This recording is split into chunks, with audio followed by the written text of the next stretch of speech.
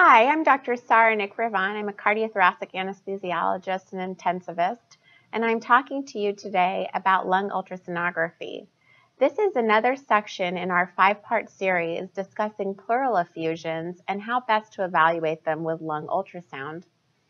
Now, on lung ultrasound, a pleural effusion is visualized as an interposition of fluid, or black, between pleura and lung. An example of this here uh, where you see consolidated lung that's kind of bright and squished down on the right hand side of the screen, this black fluid on top of it, um, and a little bit more of gray material, which is actually liver on the left hand side of the image.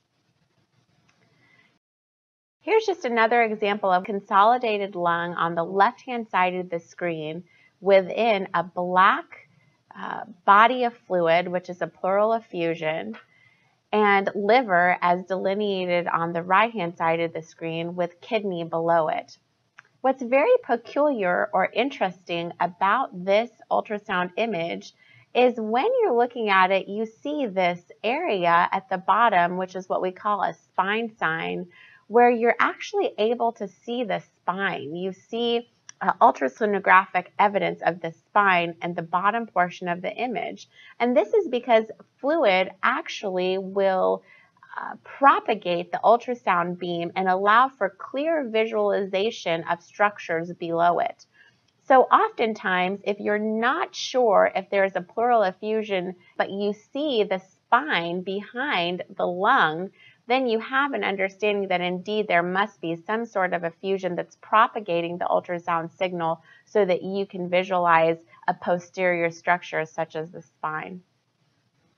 Here's another example of this. A, a, patient, we were scanning the lower portion of their lungs in quadrant four. You see liver on the left-hand side of the screen, and then those bright areas and dropout from the bone that would be visualized when you're evaluating spine. That gave us an, an, idea that there must be some sort of pleural effusion there that we weren't seeing very well, and we went on to further uh, look for a pleural effusion that we knew must be within the chest cavity.